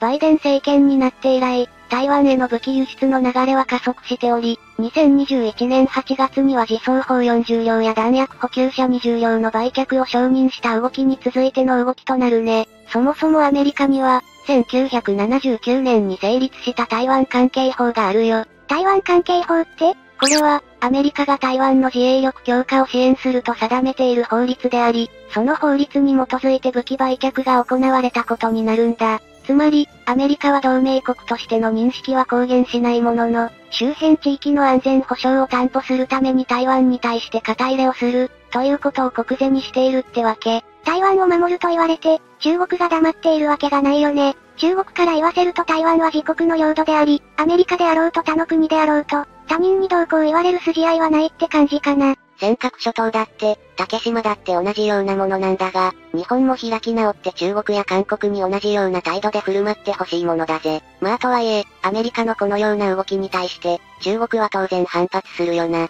中国外務省の調律兼副報道局長は2022年2月8日の定例記者会見で、アメリカの今回の行為について中国の主権と安全、利益にひどい損害を与え、中米関係と台湾海峡の安定を大きく損ねたと述べ、断固とした反対と強烈な非難を表明したよ。この反応は、まさに中国が嫌がっていることの表れであることは間違いないよね。アメリカと台湾の蜜月関係について、日本のインターネット界隈では、台湾のウクライナ化は避けられた中国の次の一手がかなり気になるとの意見があるものの、別の方向性で台湾にはもっと必要な兵器があるはずだとの主張も盛り上がっているんだ。台湾を効果的に防衛し、中国が手出しするのをためらうような防衛体制を構築すべきだ、というのがネット民の主張なんだけど、その主張を読んでみると、あながち間違っているものではないんだよね。ネット民の主張によると、台湾を防衛することは台湾海峡を防衛することであるとの基本を踏まえて、潜水艦の配備が重要であるとの声が多く見られるよ。台湾を占領しようとすれば、当然中国大陸から上陸用船艇が乗り込んでくるだろうし、戦略物資の補給などのためには当然多くの輸送用船舶が投入されることになるんだ。それらを撃滅するためには、潜水艦があった方が抑止力になる、というのが考えにあるようだね。それだけじゃないぜ。もし原子力動力型の潜水艦を導入しようものなら、アメリカがその源泉に核の所持を認めたならばどうなるだろうな。台湾は姿勢に回るのみではなく、むしろ中国の状況を見ながら核による先制攻撃を行うことができるわけで、いわゆる核の抑止力を手に入れることで、中国による侵略を回避することができるのではないかとの意見もあるんだぜ。一方で、源泉でなくても日本の親潮型レベルの潜水艦を、保持するだけでも十分戦力になるという見方もあるよ。核ミサイルを投入するのではなく、中国本土に対してミサイル攻撃を仕掛ける程度の対応で問題はないとの意見もあるようだね。それ以上の防衛は、アメリカと日本に任せれば良いとの意見みたい。ここに来てアメリカと日本、台湾有事に際してどのような行動をとるのかが気になってきたよね。アメリカは武器を供与することまでは積極的だけど、果たして台湾防衛のために戦力を投入するのか、ウクライナの状況を見ていると、そこまで犠牲を払うような行動には出ないのではないかとの見方が一般的だよ。だけど、中国の狙いが沖縄グアムなど、自国の主要な基地にまで及んだらどうかな。当然、アメリカは全力をもって反撃するだろうし、沖縄が攻撃を受けたら日米安保条約が発動するので、日本の自衛隊も全力で反撃を開始することになるんだ。中国も、アメリカや日本の動きはある程度予測していて、つまり日米安保条約に抵触しなければ奴らは出てこないと、高をくくっているのではないかと思えるよ。実際、台湾を攻撃されただけでは、日本が台湾の支援を行うことはできないしな。アメリカは空母打撃軍などの派遣を当然行うだろうし、台湾の防衛のための戦力投入は行うだろうが、中国本土への攻撃など、中国との直接戦争に至る行為には及び腰になるんじゃないか？ウクライナにおける対応の仕方を見ると、アメリカには他国のために戦争をする勇気も姿勢もない、と考える方がいいかもね。そもそも、現在の台湾の軍事力を顧みれば、中国軍の侵攻を受けた場合に台湾だけでは数日も持たないであろうと見られているよ。かつて、中国が台湾奪還のために幾度が軍事力を行使した台湾危機において、その全てがアメリカ軍の介入により中国の目論見を打ち砕いたことは、興味のある人であればみんなが知っていると思うんだ。過去の台湾海峡危機においては、圧倒的なアメリカ軍の戦力に中国が妥協をして退いた形になっているけど、今の中国ならば、アメリカの脅しに屈することなどなく、むしろ一歩も引かずに対抗し、結果的に台湾を香港と同様に自国に組み込むつもりであると見る向きは多いんだよね。かつて圧倒的な軍事力を誇ったアメリカも、かつてとは違って自国の軍事力だけで紛争を抑制しようとしているのではなく、周辺各国を囲い込んで数の力国際的な様式において紛争を抑制しようとしているように思えるよ。実際、アメリカは2020年代になってインド太平洋地域において、自衛隊や周辺諸国、あるいはヨーロッパの NATO 諸国の海軍も引き込んで共同演習訓練を頻繁に実施することで、中国を牽制しているしね。だけど、中国の驚異的な軍拡によって、東アジアに展開しているアメリカ軍の戦力と同等か、それ以上の戦力を持つとされるまで成長していることは事実として受け止めなくてはならないんだ。つまり、今現在においてアメリカが台湾有事にどこまで介入するかは、不透明であることは間違いないってことだな。日本だって他人事じゃないよね。そうだね。国が尖閣諸島に侵攻してきた時、果たしてアメリカは日米安保条約に基づいて対応をしてくれるのかどうか、その確約は未だになされていないから、少なくとも、日米安保条約の解釈について、疑問が生じている部分があるならば、日本政府は速やかにアメリカ政府と確認をする必要があると思うよ。その間にも、中国はどんどん既成事実を積み重ねて、尖閣諸島がかつてより中国領土であったことを主張し、実効支配を行うために人員を上陸させてもおかしくないし、憲法9条が国を守ってくれるという、夢のような話などどこにも存在しないことを、日本に住むすべての国民が理解しておく必要があるよね。それじゃあ今回はこの辺で、よかったら、チャンネル登録してね。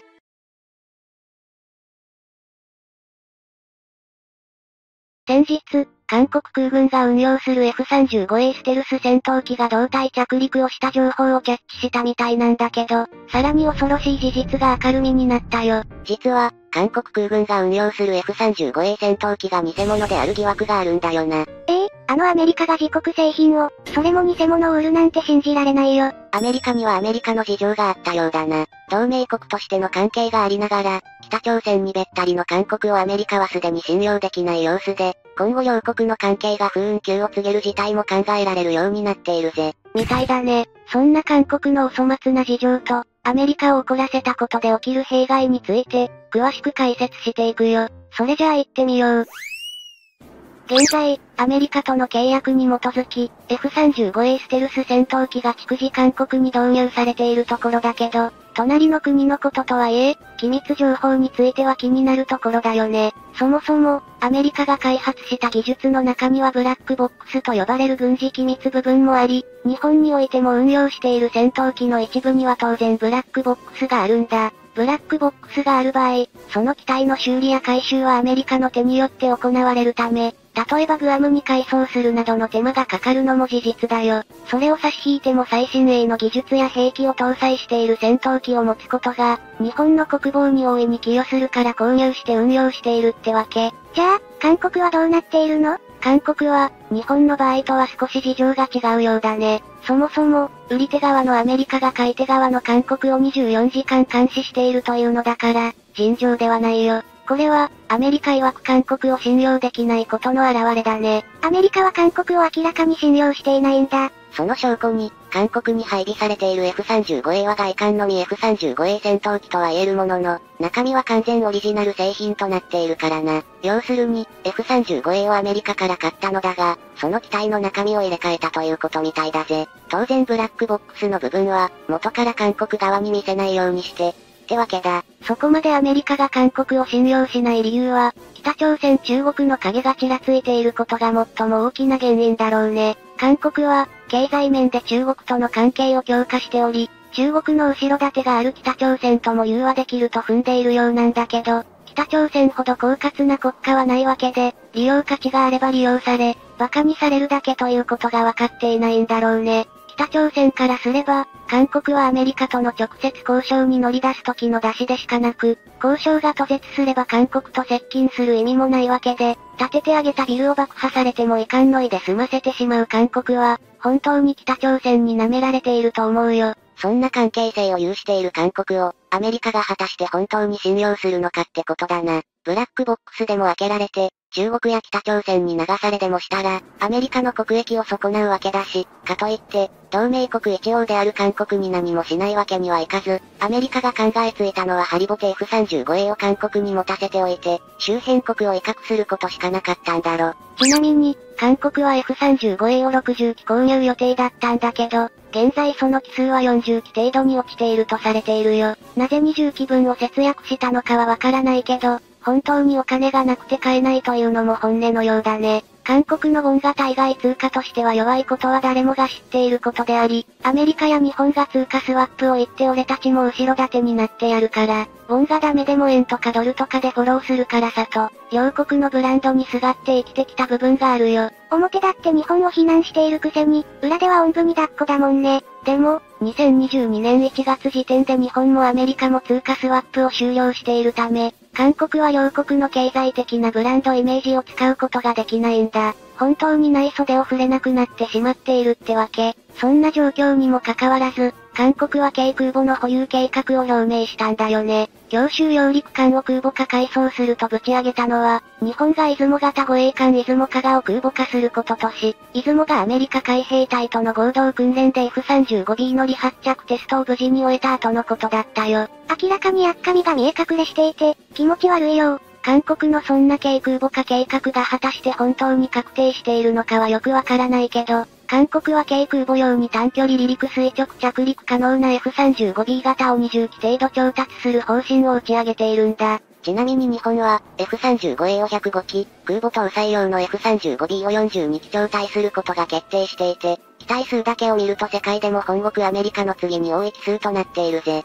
そもそも韓国が F35B や軽空母建造の意思を表明した背景は、日本を敵対視していることがあるんだ。海上自衛隊が護衛艦出雲加賀を航空母艦化改修を行うことで、韓国は敵国の勢力増強を不安に思い、対抗策を考えた結果、こっちも空母を持とうと安直に判断したと考えられるね。しかし、実情として F35B 型は、アメリカやイギリスが調達計画からすでに手を引く動きを見せており、世界の戦闘機事情から見ればそろそろロートル機と考えられている機体とも言えるよ。製造企業であるアメリカ国ロッキード・マーチン社は収入の一部を失われてしまうところだったけど、韓国が購入の意欲を示したことで、新たな顧客をゲットすることには成功したわけだね。ちなみに韓国、軽空母艦の開発に必要であるという理由で、F35B の詳細情報の開示を要求したようだが、ロッキード・マーチン社は契約完了後にしか見せないとして拒絶しているぜ。契約前にそんなことを言う国がいるんだね。まあ、韓国なら納得だよ。韓国が空母を持つということは、中国への配慮から避けていたという見方もあるようだね。韓国は、現在保有している独特級強襲揚陸艦の後継艦として、3万トン級大型輸送艦を建造すると大々的にもともと表明していたんだけど、これは軍事大国の中国を気にかけうちは空母を持ちませんよと配慮したという裏話があったんだ。そんな状況下で海上自衛隊が護衛艦出雲と加賀の航空母艦化を公表したことで、韓国にとっては中国にはばかることなく日本が持つからうちも持つと、格好の理由ができたといったところじゃないかな。日本への対抗策として考えたものなら、中国の機嫌を損ねることなく、堂々と空母を保有できるし、中国から空母の技術を提供してもらうことも視野に入れることができるからね。韓国からしたら、そんな感じで頭の中が幸せな構造になっているのかもね。そもそも、空母を持つをは持たないというのは、地勢によって大きく影響を受けるんだよね。日本は4州を海に囲まれた島国であり、その地勢上から見ても、海上防衛、海上から迫り来る敵への対抗は必要不可欠となっているよ。今もすでに、中国海軍の脅威を受け続けている尖閣諸島南西諸島の防衛戦略には、陸上拠点だけでは困難であり、出雲や加賀によって運用される F35B が絶対的に必要になってくるってわけ。F35B はステルス性能向上を重視している構造ゆえに燃料搭載量が限られており、他の従来戦闘機よりも航続距離や行動半径が短く、長期戦を考えると空中給油機も必要になってくるわけで、洋上補給拠点としても空母を保有することは必要不可欠なんだよね。と、日本には空母を持つべき理由と事情があったわけだけど、韓国はどうなんだろう？韓国の規制を見てみると、海洋部分だけで見ても日本の約10%程度しかなく、仮に北朝鮮領海を加算したとしても、約12%強になるくらいで、陸上基地から発進する F35A 型の航続距離の範囲に十分収まるということは、誰でも理解できるんだ。また、空母とは洋上を航行してくる空母打撃軍に対する反撃手段としての活用もあるんだけど、韓国に洋上から攻め立ててくる国が果たしてあるのかと聞かれて誰が答えられるかな？日本、アメリカは敵だと明言してくれるならば、こちらは自国防衛のために先制攻撃も辞さず、とあらゆる手段をもって韓国に攻撃を仕掛けることになるかもね。F35 シリーズは、韓国以外の国からも引き合いが多く、実は、イタリアも F35A と F35B の2種の調達を進めていたんだけど、ここに来てイタリアが中国にべったりとの状況があり、アメリカが難色を示しているとの話が聞こえてきたよ。経済的にイタリアと中国は関係が深く、多くの中国労働者がイタリアに入ったことで、イタリア国内でも爆発的にコロナウイルス感染者が増えたんだけど、この時に中国人目とイタリア世論が湧かなかったのは、イタリアが中国資本によって経済活動を支えられていることを理解していたからと言えるんだ。イタリアには、F35 シリーズの修理や改修などを行うことができる公式工場 FACO があるんだけど、これですら中国との関係が徐々に高まるようであれば、イタリア経由でその秘密が暴かれてしまうのではないかとアメリカが考えても無理はないよね。韓国にせよ、イタリアにせよ、繋がるところは中国というところに、アメリカがシビアになるのは無理もないだろうな。日本のように安心できる同盟国を確保しておきたいところだが、韓国なんかはもう何を言う気も失せるだろうぜ。ちなみに韓国、F35A の回収については日本の小牧基地にある FACO での対応を拒否しているね。反日感情が先立つ傾向があるため、自分の戦闘機を日本に持ち込むことは完全に拒否しているからなんだ。でも、それはあくまで韓国側が説明した理由であって、日本の事情はちょっと違うよ。日本の FACO は三菱重工業メインで運営されているため、韓国の依頼する仕事なんか受けたくないってところが本音なんだろうな。何しろ、戦争中の徴用工問題で韓国司法に財産を没収されて売却されるかもしれないわけで、そんな国の仕事なんか受けてやるもんか、と公言したって誰も怒らないと思うよ。そもそも韓国は、日本の約半分の人口しかいない国なんだよね。でも、軍事予算に注ぎ込む費用は日本と同額と言われており、このお金を捻出するよりもっと有効な使い方はできないのかと国民からたびたび批判されているのも事実ってわけ。そんな批判の声を反日だけで押し切ってきた韓国政府に、果たして先見性のある政治や国防が語れるのか、本当に疑問だよ。それじゃあ今回はこの辺で、よかったら、チャンネル登録してね。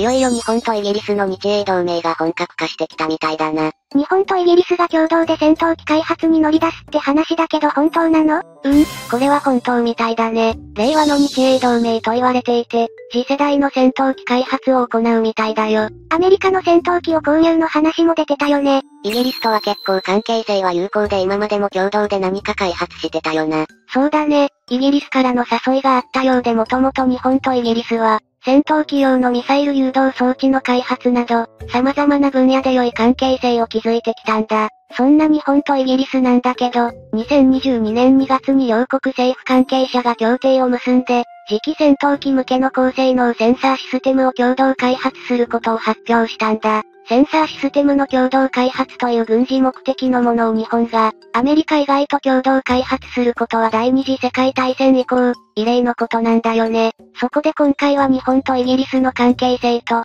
その背景について詳しく見ていこう。それじゃあ行ってみよう。日本とイギリスが共同開発するのは、それぞれが開発している次世代型戦闘機用のセンサーシステムジャガーというものなんだよ。センサーシステムというのは、戦闘機が陸海空から出現する敵を発見したり、迅速に正確に標的を特定するために使用されるんだ。さらに敵の監視技術を無効にする能力を向上させるために、レーダー技術において最高レベルの技術を持つ日本と、次世代型戦闘機の開発のノウハウを持っているイギリスが、手を組んでレーダー開発を進めていく方針なんだ。なんかすごいものができそうな予感だよね。そうだな、これは期待できるよな。日本の技術力も大いに発揮できそうだもんな。防衛装備庁は多数の受信ビームを同時に形成することで、瞬時に広範囲を探索することができると今回の共同開発の意義を強調していて、完成を目指している航空機搭載用レーダーシステム技術は他国でも実用例がないもので、実用化できれば航空機の探索能力が飛躍的にアップすると期待されてるんだ。これが実用化できれば戦闘機開発で他国を一歩も二歩もリードできそうだな。このレーダーシステムが実用化されるのに何年くらいかかるんだろうね。そうだね。その件に関してはイギリスの国防省が今回のプロジェクトについて発表してるから見てみよう。イギリス国防省の発表によると、ジャガーシステムを設計、構築、評価までするのに、最低5年はかかるんじゃないかと発表しているよ。民間企業としてイタリア防衛産業大手のレオナルド社の、イギリス法人と日本企業が参加することを明らかにしているんだ。5年か、早いのか遅いのかよくわからんな。日本とイギリスでそれぞれ実証機が製造されて、両国の専門技術を高めるために、得られた成果や技術を共有しながら作業を進めていく方針なんだ。それを考えると、5年という歳月は妥当と考えられると思うよ。もう一月になる開発費のことなんだけど、これに関しては日本もイギリスもジャガー計画に、どれほどの予算を当てるかは明言していないんだ。日本に関してはこのプロジェクトに参加する企業名さえも明らかにしていない。このことが何を意味するのかはわからないんだけど、日本とイギリスではこのプロジェクトに対する捉え方が違うようだね。イギリスは国内の軍需産業にとって有益なことと明言しているのに対して、日本は高度な性能を有する次世代戦闘機を保有することができることをアピールしているんだ。そやな、日本はいわば普通の企業なわけじゃん。軍事専門の企業は存在しないだろ。他国は、軍事兵器専門の企業が存在するからな。そのことを考えても、プロジェクトに対する考え方は違うだろうな。プロジェクトに対する考え方はともかく、素晴らしいものを共同で開発してくれるなら問題ないよ。そうだね。それじゃあ今度は次世代戦闘機を取り巻く日本とイギリスの実情を見ていこう。日本は航空自衛隊が運用している F2 戦闘機の後継機の開発を国産主導で行っていたよね。今回のジャガー計画で、開発に成功した次世代センサーシステムを、次世代機に搭載することを目指してるわけなんだけど、実際 F22 戦闘機が2035年には実戦配備できるように目指してるそうなんだ。この F2 戦闘機の後継機の開発は日本主導なんだろ？日本のどの企業が関わっているんだ？うん。2020年10月に開発主体のプライム企業として三菱重工業と契約したみたいだね。同社が全体を統括して共同でエンジン、機体、レーダーなどの開発を進める体制を構築したそうだ。やっぱり三菱重工業なんだね。開発の主体となるのは、やっぱり三菱重工業だけど、それに加えて IHI、川崎重工業、スバル、東芝、NEC、富士通、三菱電機が新たに加わり、発社による共同開発で進めていくそうなんだ。日本が誇る名だたる企業ばかりだな。すごいものができそうで期待しかないぜ。さらに防衛省は、次世代戦闘機についてアメリカ空軍との相互運用性も考えていて、日本企業に加えて、ロッキード・マーティン社を、総合支援企業として選定したみたいだよ。アメリカが持つ最先端の戦闘機技術のノウハウを吸収しつつ、官民一体となって戦闘機を開発していこうというのが日本の方針のようだよ。イギリスでは現行の主力戦闘機ユーロファイタータイフーンの後続機として、テンペストの開発を進めていて、こちらも2035年頃の実戦配備を目指してるようなんだ。日本の後続機の実戦配備と同じスケジューリングであることから、今回の共同開発の話が持ち上がってきたのではないかと言われてるんだよ。アメリカのロッキード・マーティン社がついてくれれば怖いものなしだね。今回の次世代戦闘機の開発はジャガー計画だけじゃなくて、日本とイギリスで次世代戦闘機のエンジンも共同で開発するそうなんだ。2021年12月には、日本政府とイギリス政府が次期戦闘機エンジン実証機について、日本の IHI とロールスロイス社が共同で開発すると発表してるんだ。さらに防衛省は、2021年に41億円の予算を投じて、次期戦闘機用の高機能レーダー技術の開発を日本とイギリスで共同開発することも発表してるんだ。でもよ、基本戦闘機や兵器などに関してはアメリカとズブズブだっただろ次世代戦闘機を開発する上で、イギリスとの共同開発についてはアメリカは何も言わないのか？うん、そうだね。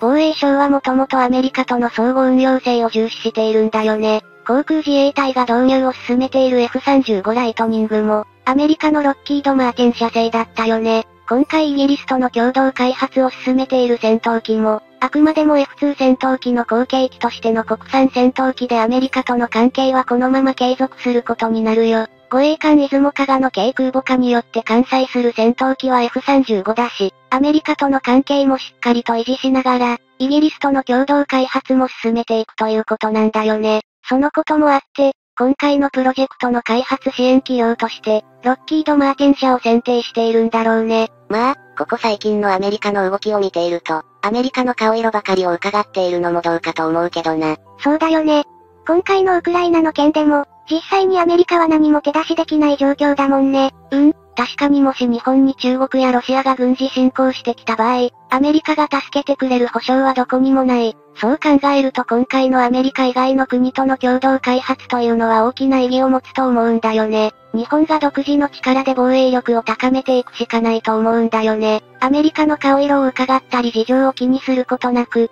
戦闘機を国内企業が開発するのが望ましくて、同時に最先端の技術やノウハウを持つ諸外国と共同開発していくことが望ましいと思う。その点で、日本はエンジンやミサイルの技術が欲しくて、イギリスはレーダーやセンサーの技術が欲しいということで、お互いに技術や費用面で乏しいところを補いつつ、高性能な次世代戦闘機を効率よく開発できるということなんだ。そうだね。いつまでもアメリカには頼ってられないよね。自国は自国で守れなきゃね。実際、今の日本はアメリカの後ろ盾がないと何もできないと思われてるからな。中国や北朝鮮、ロシアには舐められてるからな。共同開発とはいえアメリカに頼ることなく戦闘機を開発することが何かいいきっかけになるといいよな。うん。やはり自分たちの国は自分たちで守るが基本だと思う。そして日本には世界最高峰の技術力とそれを有する企業がある。開発力でも遅れは取らないはずだよ。世界最高峰の次世代戦闘機が完成することを楽しみにしておこう。それじゃあ今回はこの辺で、よかったら、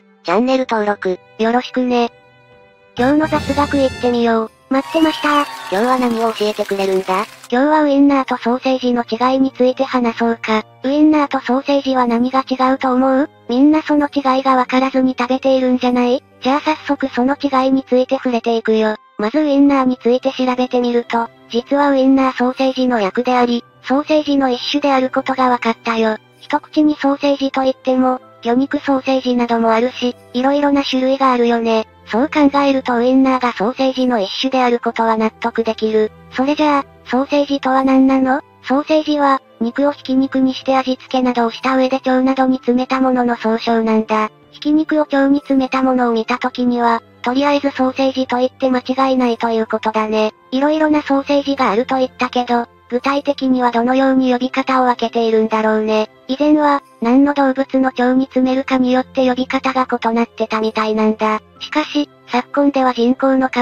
ーシングに詰められていることが多いため、この呼び分けではなくなったんだ。最近では、この人工の皮ケーシングの太さによって呼び方を変えているそうなんだ。昔は羊の腸にひき肉を詰めたものをウインナーソーセージ、豚の腸にひき肉を詰めたものをフランクフルトソーセージ、牛の腸にひき肉を詰めたものをボロニアソーセージと呼んでいたんだ。ということでウインナーとソーセージに違いはなく、ウインナーはウインナーソーセージの役で、ソーセージの一種のことなんだ。以上、今日の雑学でした。最後まで見てくれてありがとう。ありがとう。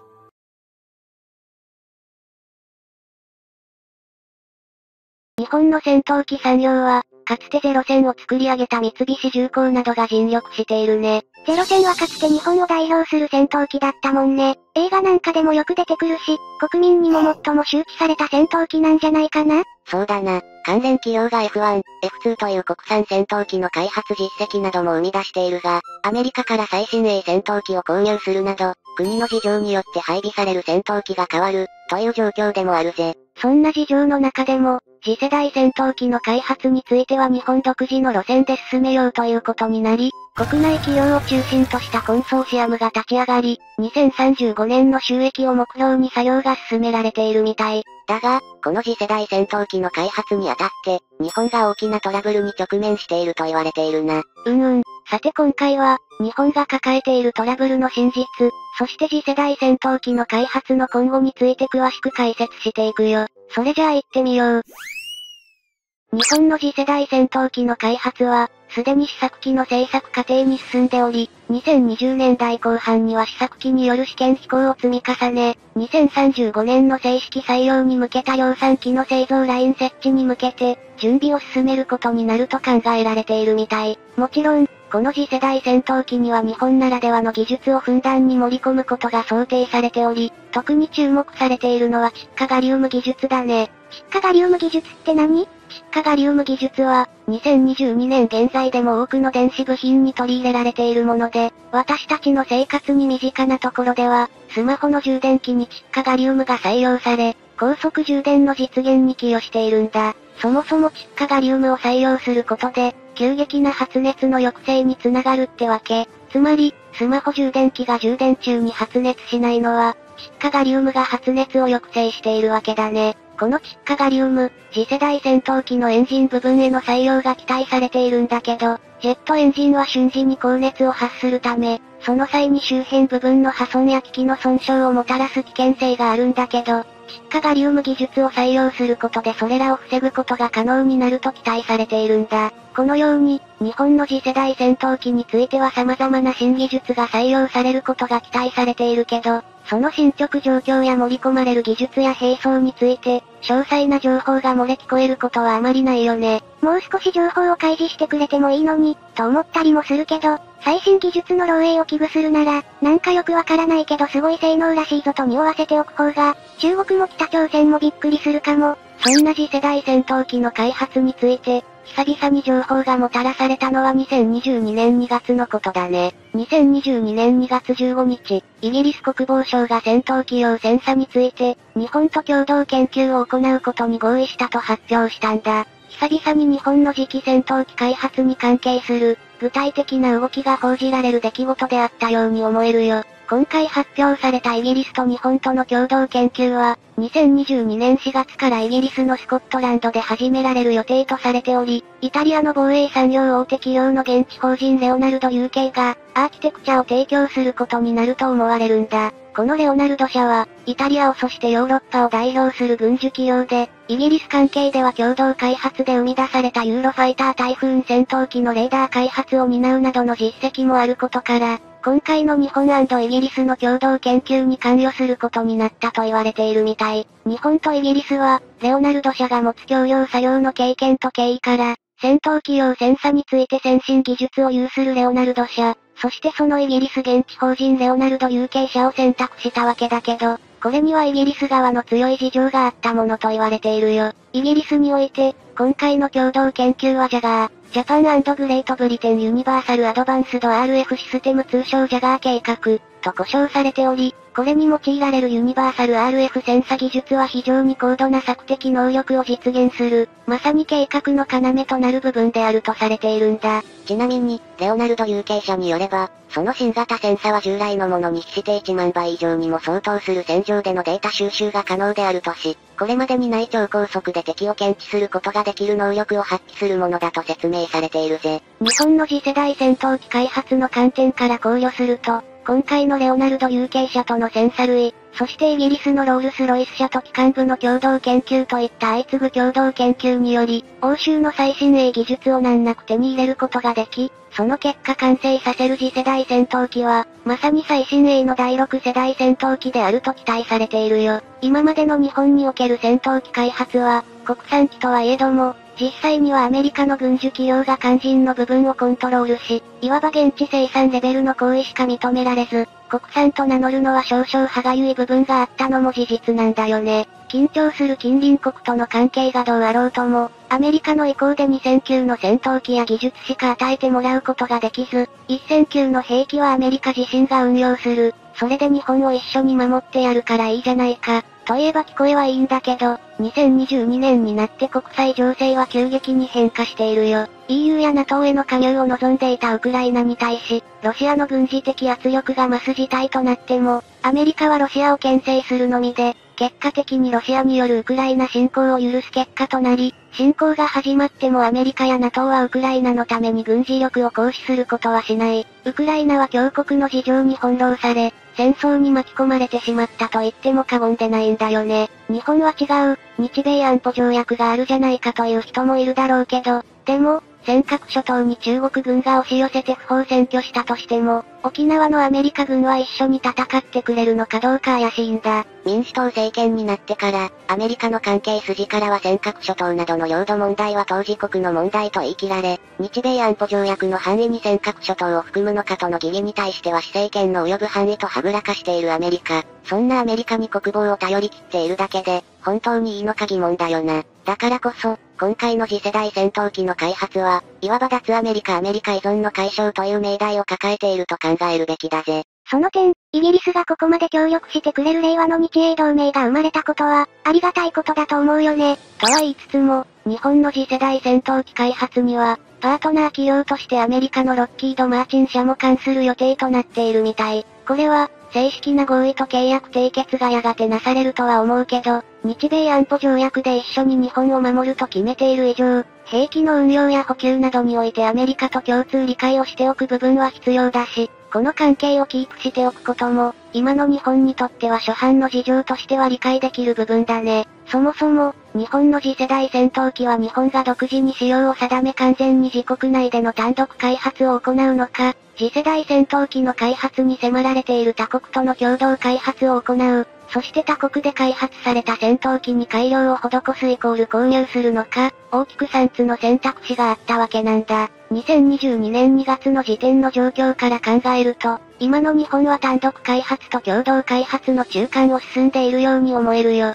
2018年12月に安倍内閣が閣議決定した方向性では、国外関連企業との連携を視野に入れつつ、日本が主導する戦闘機開発を推進するというものであって、自国開発メインの方針を強固に打ち出したものだったんだけど、実際には経済的な合理性までを加味するとその実現が困難である実情が浮かび上がっちゃうんだよね。例えば、航空自衛隊でも導入を始めているロッキード・マーチン社製の第5世代戦闘機たる F35 ライトニング2は、すでに開発費総額が6兆円を超過しているとも言われ、今後も継続されるアップデートを考慮すればもっとその金額は増えるわけで、日本単独でこれだけの費用を捻出できるのかといえば、正直言って無理であることは間違いないんだ。次世代戦闘機の開発には金がかかる。その実情を理解している国々も増えており、近年の世界的な戦闘機の運用においては第5世代戦闘機の登場は進みつつも、従来の第4世代戦闘機に近代化改修を行い、一部に限定的なステルス性能やレーダーセンサ類を強化することで延命している国々も多くなっているみたい。ウクライナ侵攻が始まるまでの世界情勢は、大きな戦争や紛争が行われることもなく、